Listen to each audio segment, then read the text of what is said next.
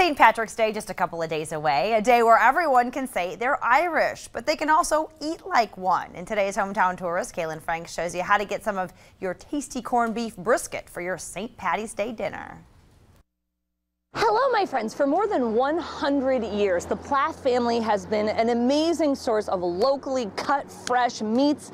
You may know about their Rogers City location. That's the original, but here in Petoskey, they're doing just as much business. And with St. Patrick's Day so close, it's time to get us some corned beef. We are originally known for my grandfather's recipe for smoked loin and also the uh, bacon and all of our homemade sausages. Plath's is a northern Michigan staple. For more than 100 years, their location in Rogers City has provided a fresh from the butcher experience for dedicated customers, and their Petoskey location is just as popular. We cut fresh to order any thickness that they want in steaks or any size roast.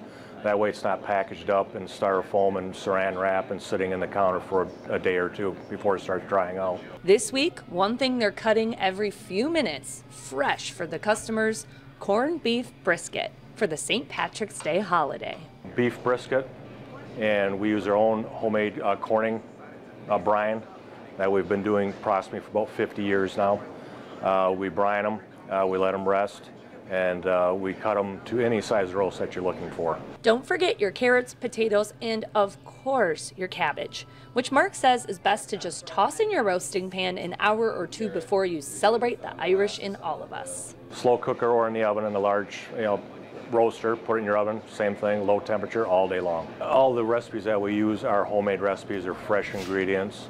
Uh, they're freshly made. So whether it's corned beef for the holiday this week or an Easter ham for the holiday next week, Plath's will prepare it for you the old-fashioned way, like it's been done in their family for more than a 100 years. I grew up with the paper, wrapping in paper and the butcher's twine, and I decided to keep it that way instead of putting the product in the plastic bag.